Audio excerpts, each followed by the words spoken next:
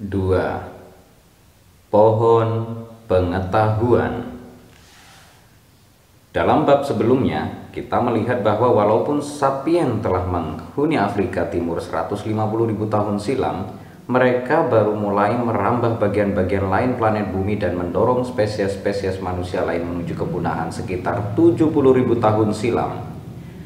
Dalam milenium-milenium sebelumnya, Walau sapien-sapien purba terlihat persis seperti kita dan berotak sebesar otak kita, mereka tidak menikmati keunggulan besar apa pun dibandingkan spesies-spesies manusia lain.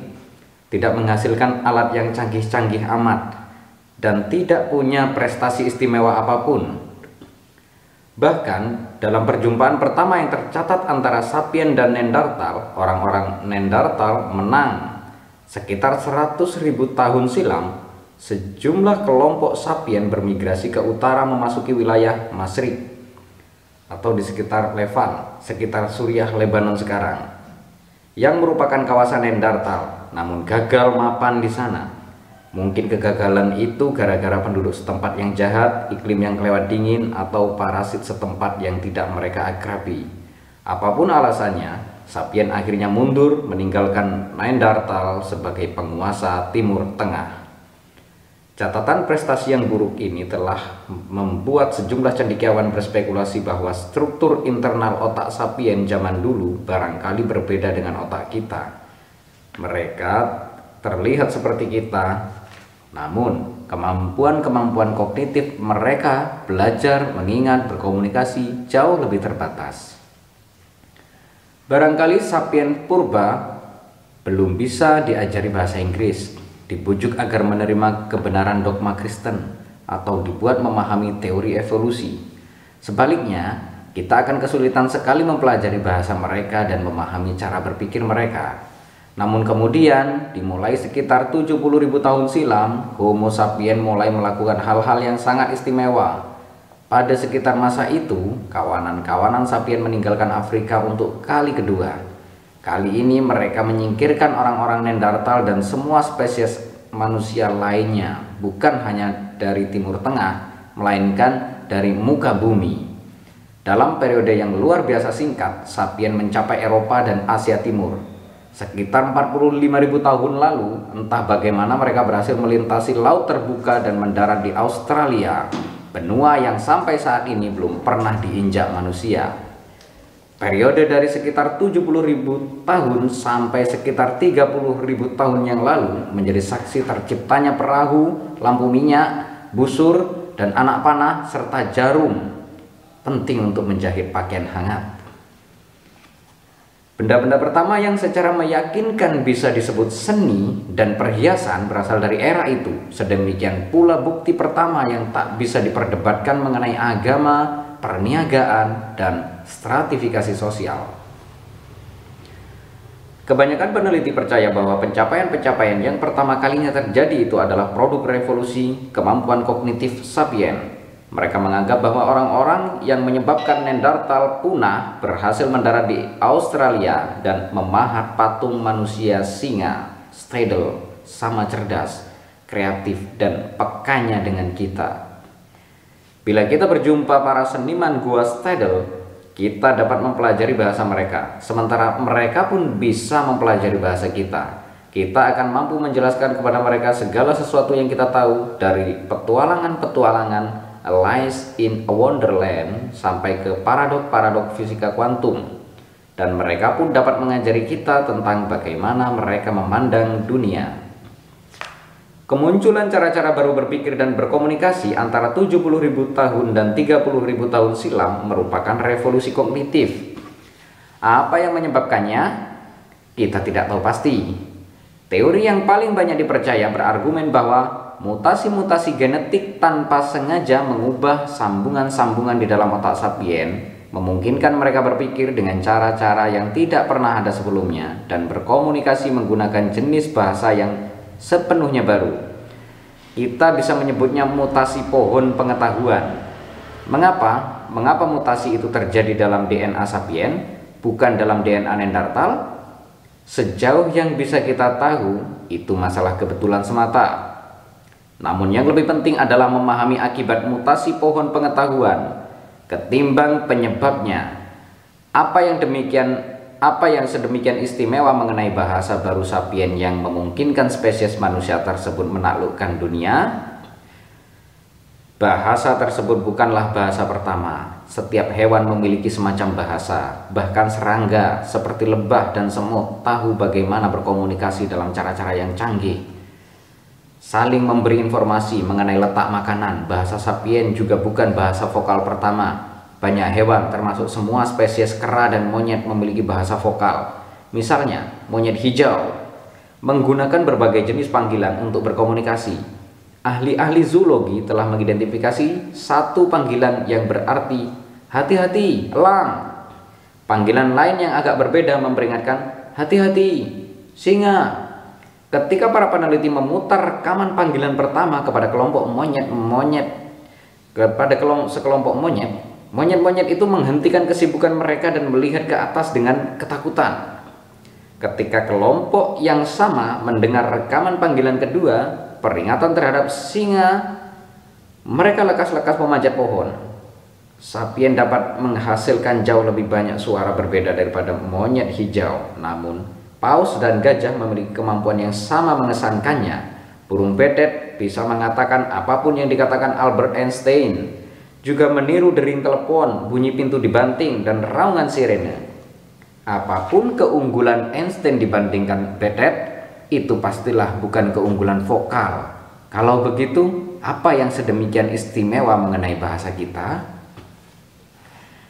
Jawaban yang paling umum adalah bahasa kita luar biasa luas.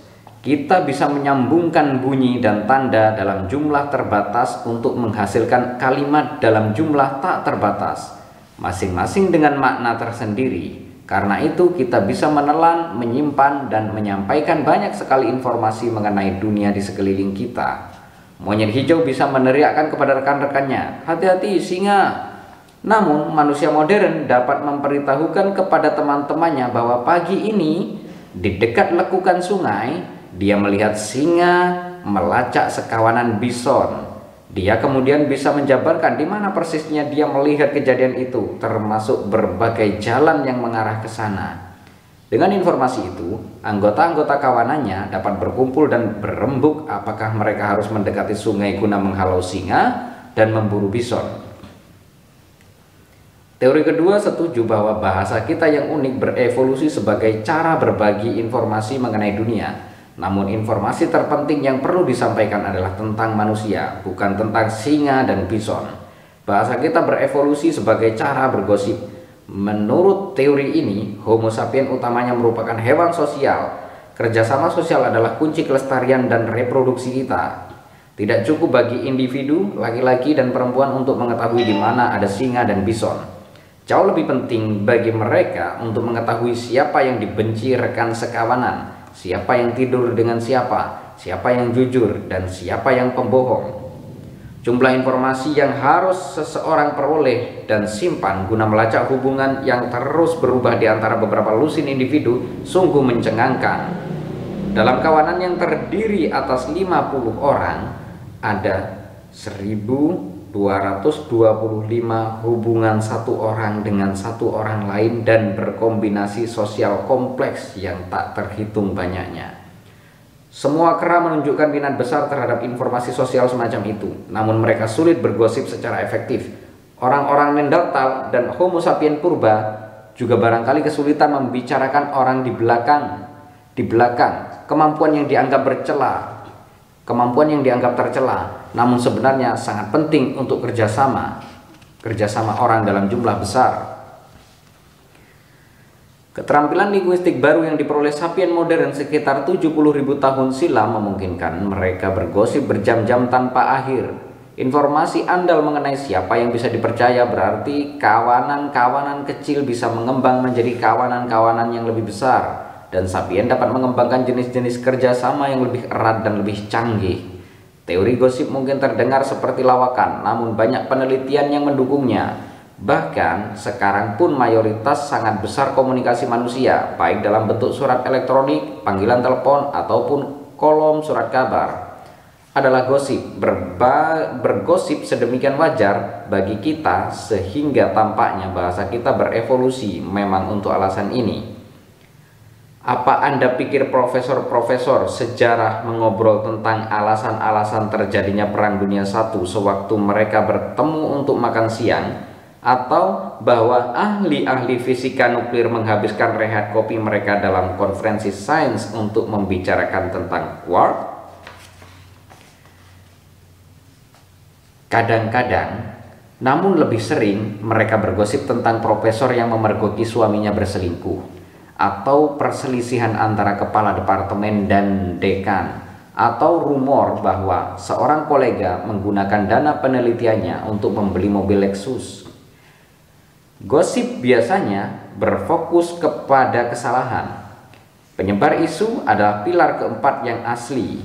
Para jurnalis yang memberitahu masyarakat mengenai penipu dan penebang sehingga masyarakat terlindungi dari mereka.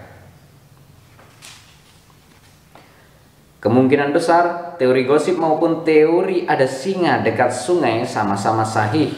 Namun, ciri yang benar-benar khas di bahasa kita bukanlah kemampuannya menyampaikan informasi mengenai manusia dan singa, melainkan kemampuannya menyampaikan informasi mengenai hal-hal yang sama sekali tidak ada Sejauh yang kita tahu, hanya sapien yang bisa membicarakan tentang segala macam entitas yang tidak pernah mereka lihat, sentuh, atau cium baunya. Legenda mitos, dewa-dewi, dan agama muncul untuk pertama kalinya bersama revolusi kognitif. Banyak hewan dan spesies manusia yang sebelumnya sudah bisa mengatakan, hati-hati, singa. Berkat revolusi kognitif, Homo sapien memperoleh kemampuan untuk berkata, singa itu adalah arwah pelindung suku kita Kemampuan untuk membicarakan soal fiksi ini adalah ciri paling khas bahasa sapien. Relatif mudah untuk setuju bahwa hanya Homo sapien bisa membicarakan tentang hal-hal yang tidak benar ada dan mempercayai enam hal mustahil sebelum sarapan. Anda tidak akan pernah bisa meyakinkan monyet untuk menyerahkan sebatang pisang kepada Anda dengan menjanjikan kepadanya pisang dalam jumlah tak terbatas di surga monyet setelah dia mati. Namun mengapa hal itu penting? Bagaimanapun, fiksi bisa menyesatkan atau mengalihkan perhatian secara membahayakan. Orang-orang yang mendatangi hutan guna mencari-cari peri dan kuda bertanduk satu tampaknya berkemungkinan bertahan hidup lebih kecil daripada orang-orang yang pergi mencari jamur dan rusa. Dan bila Anda menghabiskan waktu berjam-jam berdoa kepada arwah-arwah penjaga yang tidak ada, Tidakkah Anda menyanyiakan waktu berharga, waktu yang lebih baik dihabiskan untuk mencari makanan, bertarung, dan bersenggama? Namun, fiksi telah memungkinkan kita bukan hanya menghayalkan ini itu, melainkan juga melakukannya secara bersama-sama. Kita dapat merajut mitos-mitos bersama seperti kisah penciptaan dunia dalam kitab suci, mitos-mitos kala mimpi orang-orang aborigin Australia, dan mitos-mitos nasionalis negara-negara modern. Mitos-mitos semacam itu memberi sapien kemampuan yang tak terbatas ada sebelumnya untuk bekerja sama secara luas beramai-ramai. Mitos-mitos semacam itu memberi sapien kemampuan yang tak pernah ada sebelumnya untuk bekerja sama secara luas beramai-ramai. Semut dan lebah juga bisa bekerja sama dalam jumlah besar, namun mereka melakukannya dengan kaku dan hanya dengan kerabat-kerabat dekat. Serigala dan simpanse bekerja sama secara jauh lebih luas daripada semut. Namun mereka hanya bisa melakukannya bersama sejumlah kecil individu lain yang mereka kenal dan dengan akrab. Sapien dapat bekerja sama dalam cara-cara yang luar biasa luas dengan orang asing yang tak terhitung banyaknya. Itulah mengapa sapien menguasai dunia sementara semut memakan sisa-sisa kita dan simpanse terkurung dalam kebun binatang dan laboratorium penelitian. Legenda Pijel Sepupu kita, simpanse, biasanya hidup dalam kelompok-kelompok kecil yang terdiri atas beberapa lusin individu. Mereka membentuk pertemanan yang erat, berburu bersama-sama, dan bertarung bahu-membahu melawan babun citah, dan simpanse musuh. Struktur sosial mereka cenderung hierarkis. Anggota yang dominan, yang nyaris selalu pejantan, disebut pejantan alfa. Pejantan dan betina lain menunjukkan ketundukan kepada mereka, pejantan alfa dengan menunduk di hadapan seraya membuat bunyi mengerung. Bisa dibilang persis seperti manusia jelata merunduk di hadapan raja. Pejantan alfa berupaya mempertahankan harmoni sosial dalam kelompoknya. Ketika dua individu bertarung, dia akan menangani dan menghentikan kekerasan itu dia juga melakukan hal-hal yang kurang menyenangkan seperti memonopoli makanan tertentu yang digemari dan mencegah pejantan-pejantan berperingkat rendah kawin dengan betina. Ketika dua pejantan memperebutkan posisi alfa, mereka biasanya melakukan itu dengan membentuk koalisi luas yang terdiri atas pendukung pejantan maupun betina di antara anggota-anggota kelompok. Hubungan di antara anggota-anggota koalisi didasarkan kepada kontak akrab harian, berpelukan, bersentuhan, berciuman, menelisik, dan tolong-menolong. Seperti politikus manusia yang saat kampanye pemilu berkeliling untuk berjabat tangan dan mengecup bayi. Demikian pula para kandidat yang berebut kedudukan puncak dalam kelompok simpanse menghabiskan banyak waktu memeluk, menepuk punggung, dan mencium bayi simpanse Pejantan alfa biasanya meraih posisinya bukan karena dia secara fisik lebih kuat, melainkan karena dia memimpin koalisi yang besar dan stabil. Koalisi-koalisi ini berperan utama bukan hanya selama pergulatan terbuka memperebutkan posisi alfa, melainkan juga dalam nyaris semua aktivitas sehari-hari. Anggota-anggota koalisi menghabiskan lebih banyak waktu bersama-sama, berbagi makanan, dan saling membantu pada masa-masa sulit. Ada batas tegas ukuran kelompok yang bisa dibentuk dan dipertahankan dengan cara seperti itu. Agar berfungsi semua anggota suatu kelompok harus saling mengenal secara akrab. Dua simpanse yang tidak pernah bertemu, tidak pernah bertarung, dan tidak pernah saling menelisik tidak akan pernah tahu apakah mereka bisa saling mempercayai, apakah ada manfaatnya saling membantu, dan yang mana di antara mereka yang lebih tinggi peringkatnya. Dalam kondisi alami, satu kawanan simpanse biasanya terdiri atas sekitar 20-50 individu. Seiring meningkatnya jumlah simpanse dalam kawanan, tatanan sosial goyah, sehingga akhirnya mengarah ke perpecahan dan pembentukan kawanan baru oleh sebagian anggota kelompok itu.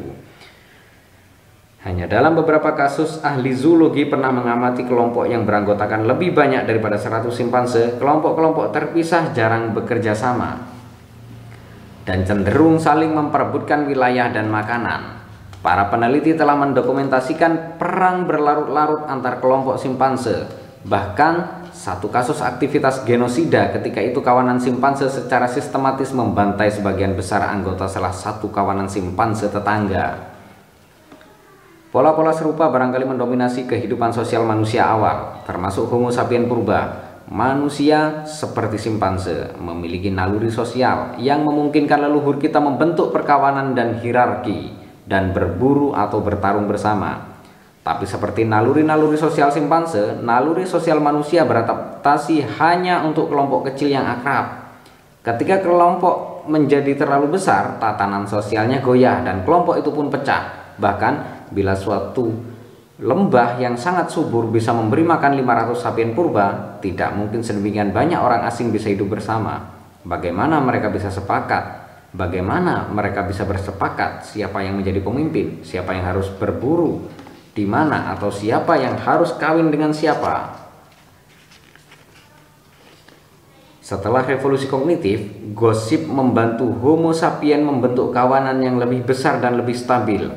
Namun, Gosip pun memiliki keterbatasan. Penelitian sosiologis telah menunjukkan bahwa ukuran alami maksimum kelompok yang diikat oleh gosip antara sekitar 150 orang. Kebanyakan orang tidak bisa mengenal secara akrab ataupun bergosip secara efektif mengenai lebih daripada 150 manusia. Bahkan kini, ambang batas kritis bagi organisasi manusia ada di sekitar angka ajaib 150 di mana ambang batas itu masyarakat, bisnis, jejaring sosial, dan satuan militer dapat mempertahankan keutuhan terutama berdasarkan hubungan akrab dan penyebaran rumor. Tidak ada kebutuhan peringkat formal, jabatan, dan kitab hukum dalam menjaga tatanan. Peleton yang terdiri atas 30 prajurit atau bahkan kompi yang terdiri atas 100 prajurit dapat berfungsi dengan baik berdasarkan hubungan-hubungan akrab dengan disiplin formal minimum. Seorang sersan yang sangat dihormati dapat menjadi raja kompi dan menerapkan kewenangan bahkan atas perwira berpangkat lebih tinggi. Bisnis keluarga kecil dapat hidup dan berkembang tanpa dewan direksi CEO ataupun bagian pembukuan. Namun begitu ambang batas 150 individu terlampaui, segala sesuatu tidak bisa lagi bekerja seperti itu. Anda tidak bisa menjalankan divisi yang terdiri atas ribuan prajurit seperti Anda menjalankan satu peleton. Bisnis keluarga yang sukses biasanya menghadapi krisis ketika tumbuh makin besar dan mempekerjakan lebih banyak pegawai. Bila tidak, bisa merombak diri. Bisnis itu bisa gulung tikar. Bagaimana Homo sapien berhasil melintasi ambang batas kritis ini dan akhirnya mendirikan kota-kota yang berisi puluhan ribu penduduk dan imperium-imperium yang memerintah ratusan juta jiwa? Rahasianya barangkali adalah kemunculan fiksi. Banyak orang yang saling asing bisa sukses bekerja sama berkat mempercayai mitos-mitos bersama. Tiap kerjasama manusia berskala besar, entah itu negara modern, gereja zaman pertengahan, kota kuno, atau suku purba, berakar di mitos-mitos bersama yang hanya mungkin ada dalam imajinasi kolektif manusia. Gereja berakar di mitos religius yang sama. Dua orang Katolik yang tidak pernah bertemu tetap saja bisa berangkat berperang salib bersama-sama atau mengumpulkan dana untuk membangun rumah sakit karena mereka sama-sama percaya bahwa Tuhan telah mewujud menjadi manusia dan membiarkan dirinya disalib untuk menebus dosa-dosa kita. Negara-negara berakar di mitos-mitos nasional yang sama, dua orang Serbia yang tidak pernah bertemu mau mengambil resiko untuk saling menyelamatkan karena mereka sama-sama percaya akan keberadaan sang bangsa Serbia tanah air Serbia dan bendera Serbia. Sistem-sistem hukum berakar di mitos-mitos hukum yang sama. Dua pengacara yang tidak pernah bertemu tetap bisa bergabung membela seseorang yang sepenuhnya asing bagi mereka karena mereka semua percaya akan keberadaan hukum, keadilan, hak asasi manusia, serta uang bayaran. Padahal segala hal itu tidak ada di luar kisah-kisah yang orang-orang ciptakan dan tuturkan kepada satu sama lain. Tidak ada dewa-dewi di alam semesta tidak ada bangsa, tidak ada uang, tidak ada hak asasi manusia, tidak ada hukum, dan tidak ada keadilan di luar imajinasi bersama manusia. Manusia dengan mudah memahami bahwa orang-orang primitif mengikat tatanan sosial dengan mempercayai hantu dan arwah dan berkumpul setiap purnama untuk menari bersama di sekeliling api unggun. Yang gagal kita pahami adalah bahwa lembaga-lembaga modern kita berfungsi dengan dasar yang tepat sama. Ambil contoh dunia korporasi bisnis Pebisnis dan pengacara modern adalah sebenarnya tukang sihir yang didaya. Perbedaan mendasar antara mereka dan dukun suku adalah bahwa pengacara modern menuturkan kisah-kisah yang jauh lebih aneh. Legenda pijet memberi kita contoh yang bagus. Suatu lambang yang agak menyerupai manusia singa, stadel, kini ada di berbagai mobil, truk, sepeda motor dari Paris sampai Sydney. Lambang itu menghiasi kap mesin kendaraan-kendaraan yang dibuat oleh Peugeot, salah satu produsen mobil tertua dan terbesar di Eropa. Peugeot bermula sebagai bisnis keluarga kecil di desa Valentine, hanya sekitar 300 km dari Gua Stadel. Kini perusahaan itu mempekerjakan sekitar 200 ribu orang di seluruh dunia. Sebagian besar di antaranya saling asing satu sama lain. Orang-orang asing ini bekerja sama dengan sedemikian efektif sehingga pada 2008 Pijet menghasilkan 1,5 juta lebih mobil, memperoleh pendapatan sekitar 55 miliar euro. Dengan cara apa kita dapat mengatakan bahwa Pijet SE, nama resmi sebuah perusahaan, dengan cara apa kita dapat mengatakan bahwa perusahaan Pijet ada Ada banyak kendaraan pijat, namun jelas kendaraan-kendaraan itu bukanlah perusahaannya. Bahkan, bila setiap mobil pijat di dunia secara bersama-sama dibuang dan dijual sebagai logam bekas, pijat tidak akan hilang. Pijat akan terus membuat mobil-mobil baru mengeluarkan laporan tahunan. Perusahaan itu memiliki pabrik, mesin, dan ruang pamer, juga mempekerjakan mekanik, akuntan, dan sekretaris. Namun mereka semua bukanlah pijat. Suatu bencana mungkin menewaskan setiap pegawai pijat, lalu menghancurkan seluruh lini perakitan dan kantor eksekutifnya. Namun kalau begitu pun perusahaan itu masih bisa meminjam uang, mempekerjakan pegawai baru, membangun pabrik baru, dan membeli mesin baru. Pijet memiliki manajer dan pemegang saham, namun mereka juga bukan perusahaan itu sendiri. Semua manajer bisa dipecat dan semua sahamnya dijual, namun perusahaan itu sendiri akan tetap utuh. Bukan berarti Pijet SA tak tergoyahkan atau abadi. Bila hakim memerintahkan pembubaran perusahaan, pabrik-pabriknya akan tetap berdiri, sementara para pekerja, akuntan, manajer, dan pemegang saham akan terus hidup. Namun Pijet akan menghilang seketika. Singkatnya, Pijet seolah tidak memiliki hubungan esensial apa-apa dengan dunia fisik. Apakah pijet SE benar-benar ada? Pijet adalah sebuah imajinasi bersama kita. Para pengacara menyebutnya fiksi hukum. Pijet tidak bisa ditunjuk, dia bukan benda fisik. Namun pijet hadir sebagai entitas hukum, seperti juga Anda atau saya. Pijet diikat oleh hukum-hukum negara tempatnya beroperasi. Pijet bisa membuka rekening bank dan memiliki properti. Pijet membayar pajak dan bisa dituntut atau bahkan dijatuhi hukuman secara terpisah dengan siapa pun di antara orang-orang yang memiliki ataupun bekerja untuk perusahaan tersebut. Pijet tergolong ke dalam genre fiksi hukum tertentu yang disebut perusahaan perseroan terbatas. Gagasan di balik perusahaan-perusahaan semacam itu tergolong salah satu ciptaan paling cerdas manusia Homo sapien hidup selama beribu-ribu tahun tanpa perusahaan semacam itu. Selama sebagian besar sejarah yang tercatat, properti hanya bisa dimiliki oleh manusia yang bertulang dan berdaging, yang terdiri yang berdiri di atas dua kaki dan punya otak besar. Bila Jane dari Prancis abad ke-13 mendirikan bengkel pembuat kereta, dia sendirilah bisnisnya. Bila kereta yang dia buat rusak seminggu setelah dibeli, Pembeli yang menggerutu akan menuntut Jane secara pribadi. Bila Jane meminjam seribu koin emas untuk mendirikan bengkelnya dan bisnisnya gagal, dia harus melunasi pinjaman itu dengan menjual properti pribadinya, rumahnya, sapinya, tanahnya. Dia bahkan mungkin harus menjual anak-anaknya sebagai budak.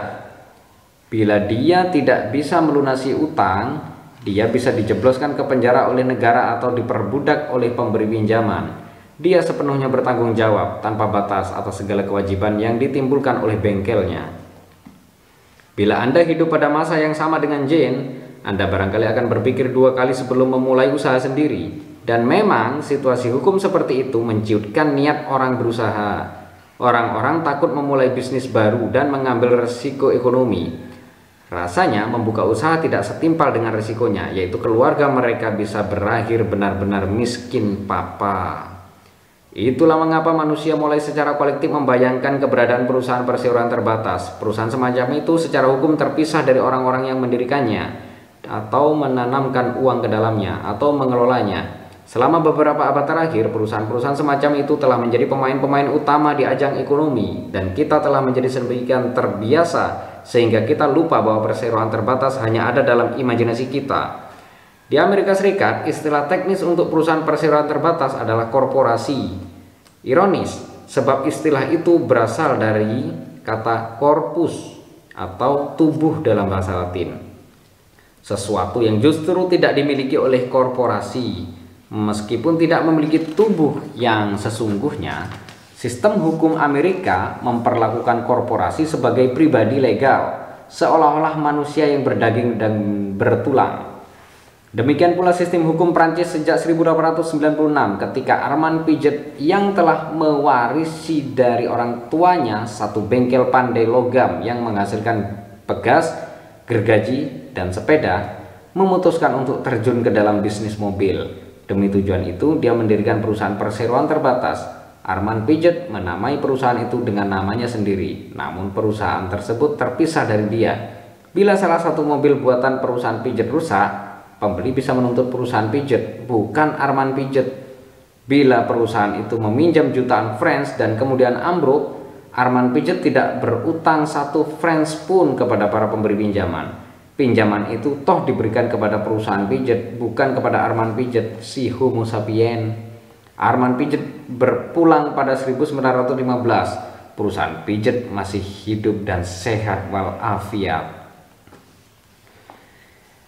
Bagaimana tepatnya Arman Pijet, sang manusia menciptakan pijet si perusahaan? Dengan cara mirip sekali dengan cara pemuka agama dan tukang sihir menciptakan dewa-dewi dan setan sepanjang sejarah. Juga cara ribuan cure Prancis masih menciptakan tubuh Kristus setiap minggu di gereja-gereja paroki. Semua itu adalah perkara menuturkan kisah dan meyakinkan orang-orang agar mempercayai kisah tersebut perihal Cure Prancis, kisah pentingnya adalah kehidupan dan kematian Kristus seperti yang digambarkan gereja Katolik. Menurut kisah itu, bila seorang pastor Katolik yang mengenakan pakaian sucinya mengucapkan dengan hikmat kata-kata yang tepat pada saat yang tepat, roti dan anggur biasanya pun berubah menjadi daging dan darah Tuhan. Sang pastor menyerukan, Hoc es corpus mum. Kalimat Latin yang berarti inilah tubuhku dan simsalabim, roti pun berubah menjadi daging Kristus. Melihat bahwa sang pastor telah secara tepat dan teliti melaksanakan semua prosedur, jutaan orang Katolik Prancis yang taat berlaku seolah-olah Tuhan benar-benar ada dalam roti dan anggur yang telah dipersuci. Dalam kasus pijat SA, kisah pentingnya adalah kitab hukum Prancis sebagaimana yang dituliskan oleh parlemen Prancis menurut para legislator Prancis, menurut para legislator Prancis, bila seseorang pengacara bersertifikat mengikuti semua liturgi ritual yang benar, menulis semua mantra dan sumpah yang dibutuhkan di selembar kertas yang berhiasan indah, dan mencantumkan tanda tangannya yang rumit di bagian bawah dokumen, maka simsalabim perusahaan baru pun terbentuk ketika pada 1896, Arman Pijet ingin mendirikan perusahaannya. Dia membayar seorang pengacara untuk menjalankan semua prosedur sakral itu.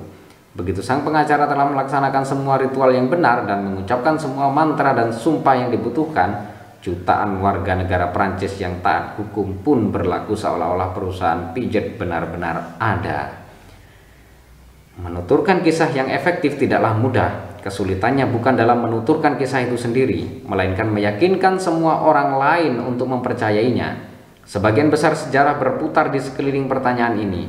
Bagaimana caranya meyakinkan jutaan orang agar mempercayai kisah-kisah tertentu mengenai dewa-dewi atau bangsa-bangsa atau perusahaan-perusahaan perseroan terbatas.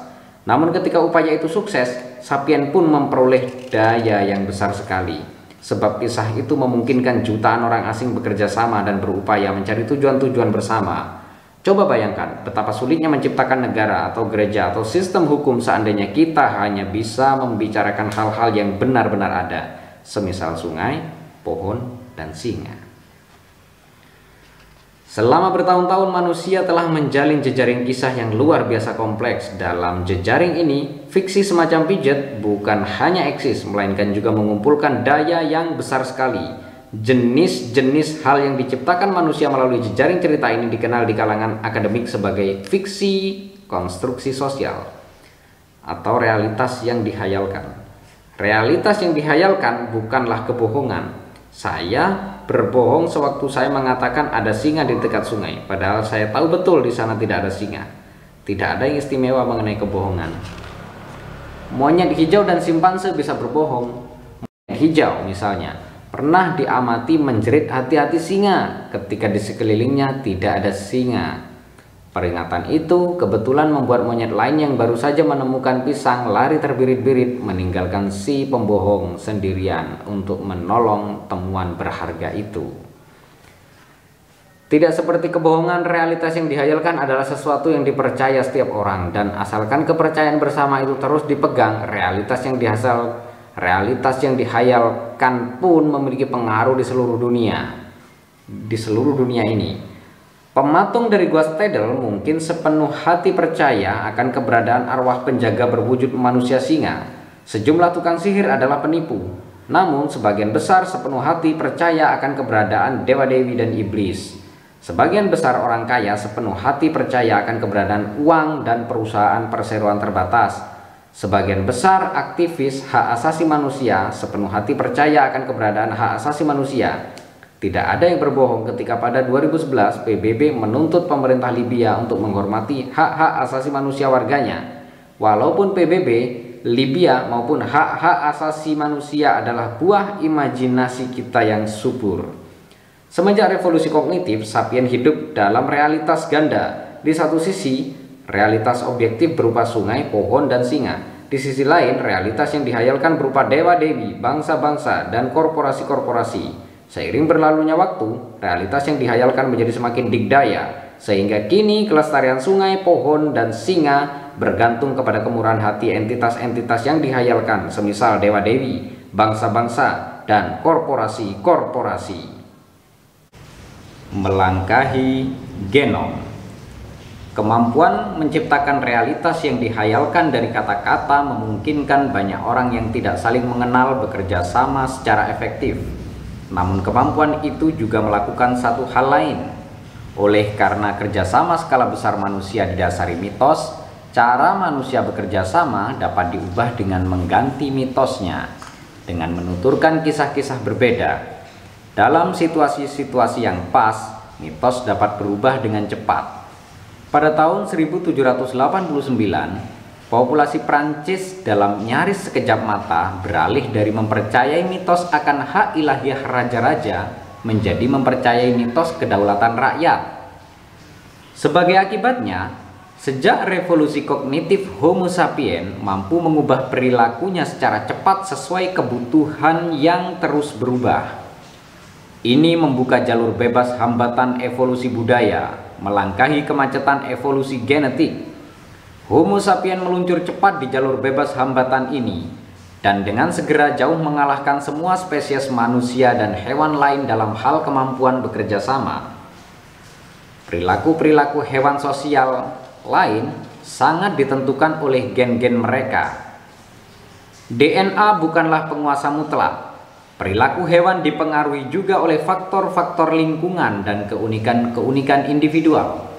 Terlepas dari itu, dalam lingkungan tertentu, hewan-hewan dalam spesies yang sama akan cenderung berperilaku secara serupa. Perubahan-perubahan besar dalam hal perilaku sosial umumnya tidak bisa terjadi tanpa mutasi genetik. Misalnya, Simpanse biasa memiliki kecenderungan genetik untuk hidup dalam kelompok-kelompok hierarkis yang dipimpin oleh satu pejantan alfa. Namun spesies simpanse yang berkerabat dekat dengan simpanse biasa bonobo biasanya hidup dalam kelompok-kelompok yang lebih egaliter dan dinominasi oleh aliansi-aliansi betina. Simpanse biasa betina tidak bisa memetik pelajaran dari bonobo saudarinya dan menggelar revolusi feminis Simpanse jantan tidak bisa berkumpul dalam majelis konstitusional untuk menghapuskan jabatan pejantan alfa dan mendeklarasikan bahwa sejak saat ini semua simpanse harus diperlakukan sebagai setara. Perubahan-perubahan dramatis semacam itu dalam hal perilaku hanya akan terjadi bila ada yang berubah di dalam DNA simpanse. Karena alasan yang sama, manusia purba juga tidak mengadakan revolusi apa pun Sejauh yang bisa kita ketahui, perubahan-perubahan pola-pola sosial, terciptanya teknologi baru, dan dihuninya habitat-habitat asing lebih banyak disebabkan mutasi genetik dan tekanan lingkungan dibanding inisiatif budaya. Itulah mengapa manusia memerlukan ratusan ribu tahun untuk membuat langkah-langkah itu. Dua juta tahun silam, mutasi-mutasi genetik menghasilkan kemunculan satu spesies baru satu spesies manusia baru yang disebut Homo erectus. Kemunculannya disertai oleh pengembangan teknologi, alat batu baru yang kini diakui sebagai ciri khas spesies ini. Selama Homo erectus tidak mengalami perubahan genetik lebih lanjut, alat bantunya tetap tak banyak berubah selama nyaris 2 juta tahun. Sementara itu, sejak revolusi kognitif, Sapien telah mampu mengubah perilaku dengan cepat, meneruskan perilaku baru ke generasi-generasi berikutnya tanpa membutuhkan perubahan genetik atau lingkungan. Sebagai contoh yang bagus sekali, pikirkanlah tentang kemunculan berulang-ulang kaum elit yang tak beranak pinak. Semisal para pastor, semisal para pastor Katolik, biksu Buddha, dan birokrat Kasim Tiongkok Keberadaan kaum elit semacam itu melawan asas paling mendasar seleksi alam, sebab anggota-anggota dominan kelompok itu secara sadar tidak beranak pinak.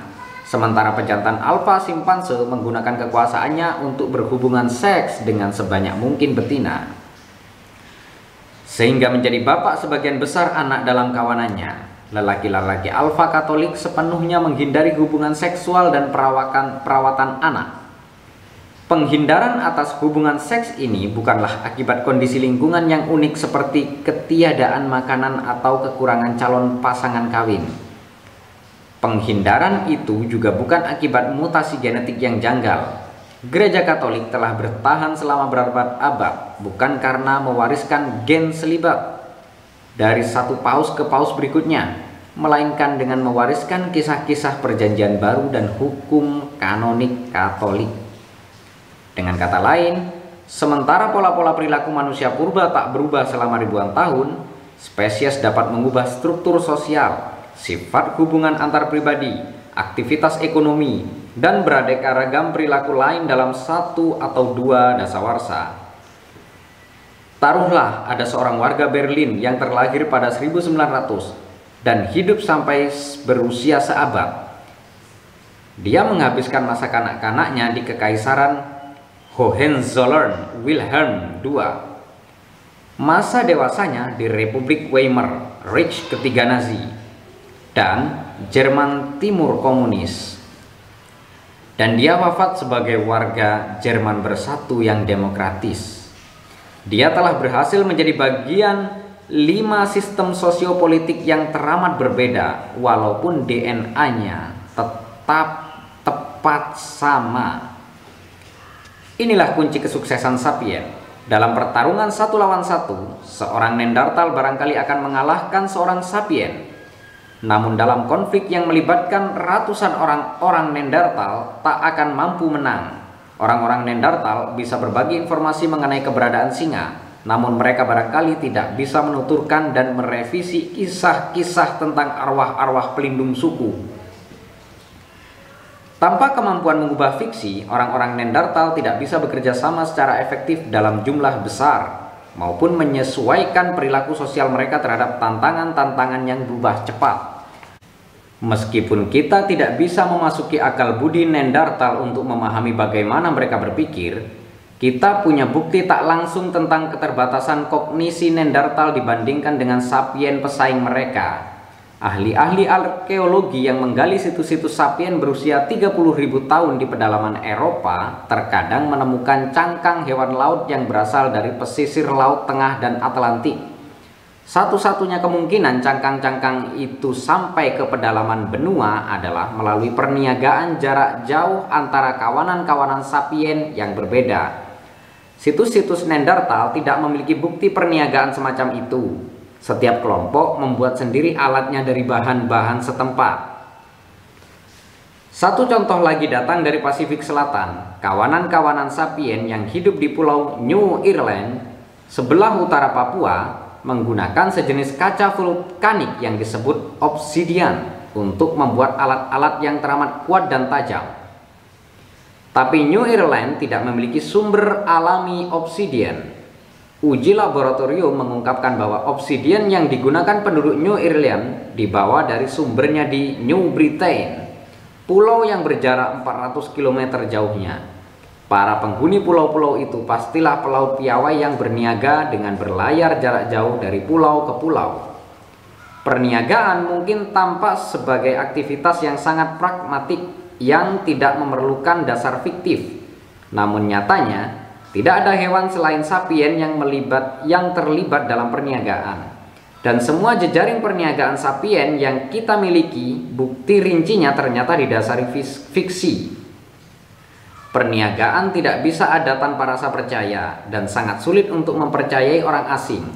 Jejaring perniagaan global masa kini didasarkan kepada kepercayaan kita terhadap entitas-entitas fiktif semacam dolar, Federal Reserve Bank, dan merek dagang khas milik korporasi.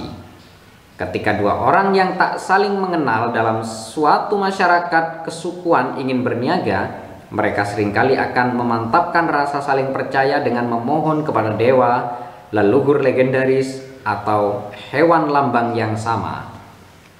Bila sapien purba yang mempercayai fiksi semacam itu berniaga cangkang dan obsidian, maka wajarlah kalau mereka juga mungkin bertukar informasi, sehingga menciptakan jejaring pengetahuan yang jauh lebih padat dan luas daripada jejaring pengetahuan Neanderthal dan manusia-manusia purba lainnya. Teknik-teknik berburu teknik-teknik berburu memberikan satu lagi contoh mengenai perbedaan itu. Orang-orang Neanderthal biasanya berburu sendirian atau dalam kelompok-kelompok kecil. Sebaliknya, Sapien mengembangkan teknik-teknik yang mengandalkan kerjasama antara berlusin-lusin individu dan barangkali bahkan antara kawanan-kawanan berbeda.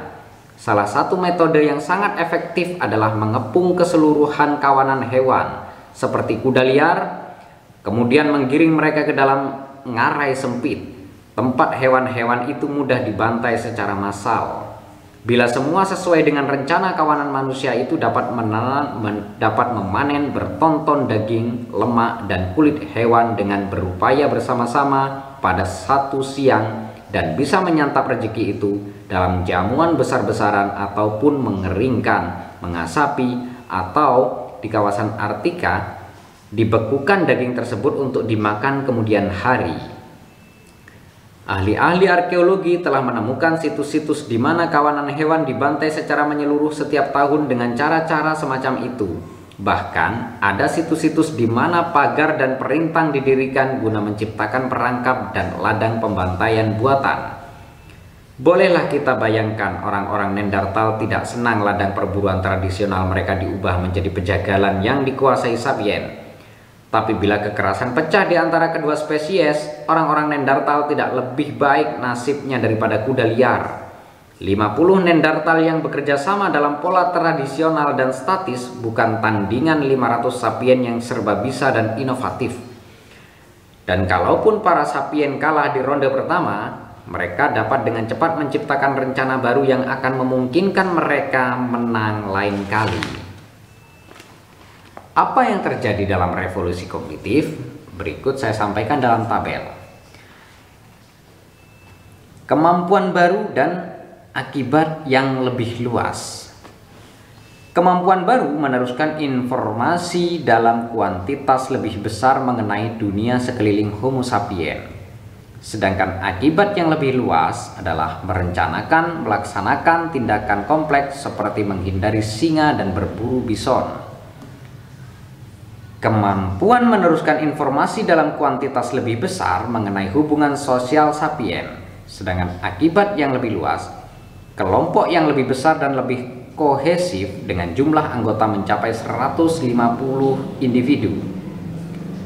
Kemampuan baru Kemampuan meneruskan informasi mengenai hal-hal yang tidak sungguh-sungguh ada, seperti arwah pelindung suku, bangsa, perusahaan perseroan terbatas, dan hak asasi manusia.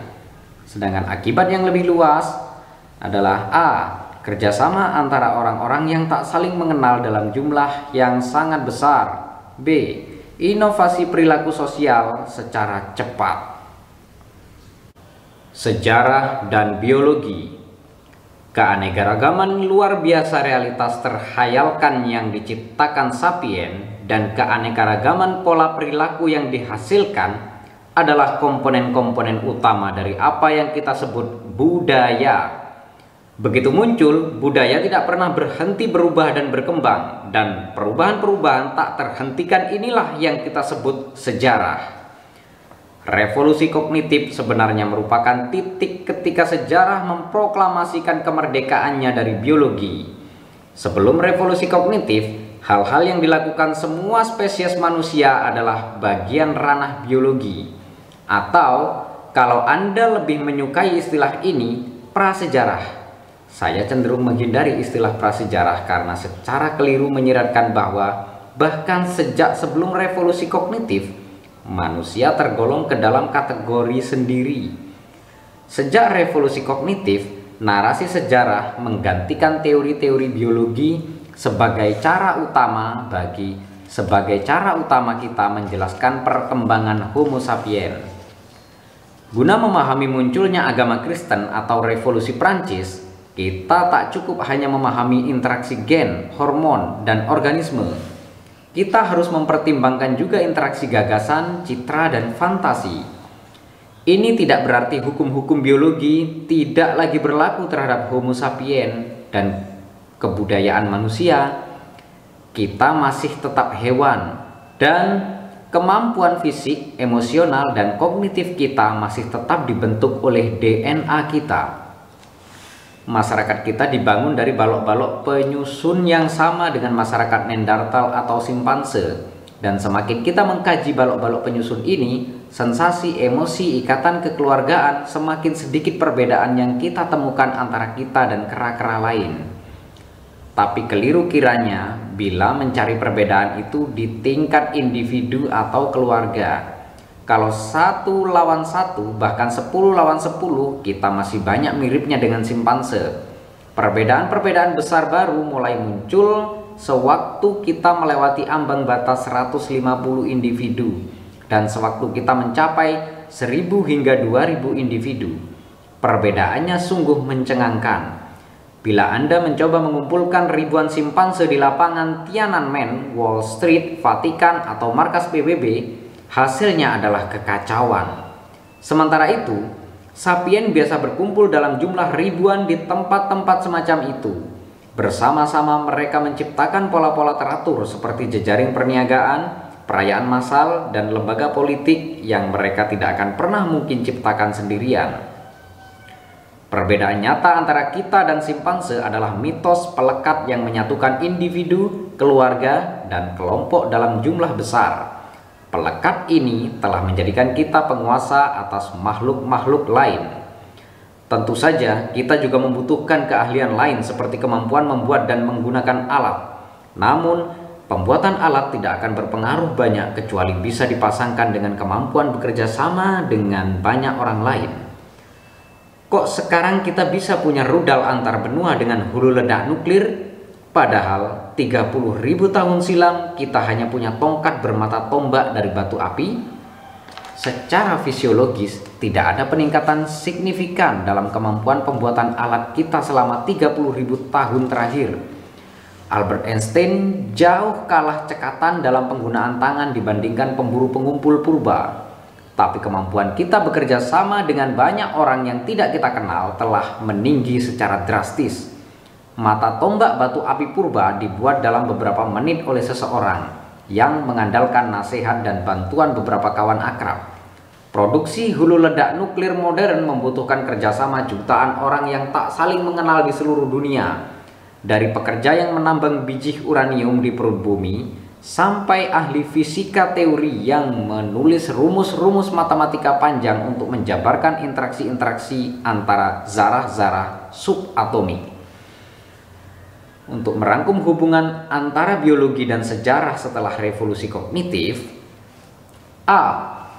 Biologi menetapkan parameter-parameter dasar bagi perilaku dan kemampuan Homo sapiens. Seluruh sejarah berlangsung di dalam batas-batas arena biologis. B tapi arena ini luar biasa luas, memungkinkan sapien memainkan luar biasa banyak ragam permainan. Berkat kemampuan mengubah fiksi, sapien menciptakan permainan-permainan yang semakin kompleks, yang dikembangkan dan diperinci lebih jauh oleh setiap generasi. C. Sebagai akibat, guna memahami bagaimana sapien berperilaku, kita harus menjabarkan evolusi sejarah tindakan-tindakan sapien. Kalau kita hanya mengacu ke batasan-batasan biologis saja, itu bagaikan penyiar olahraga di radio yang meliput kejuaraan sepak bola Piala Dunia dan hanya menyampaikan kepada para pendengarnya gambaran rinci lapangan sepak bola, bukan menuturkan apa yang sedang dilakukan oleh para pemain. Pemainnya, apa yang dimainkan leluhur zaman batu kita adalah arena sejarah. Sejauh yang kita tahu, orang-orang yang mengukir manusia, manusia singa Stadel sekitar 30.000 tahun silam memiliki kemampuan fisik, emosional, dan intelektual yang sama dengan kita.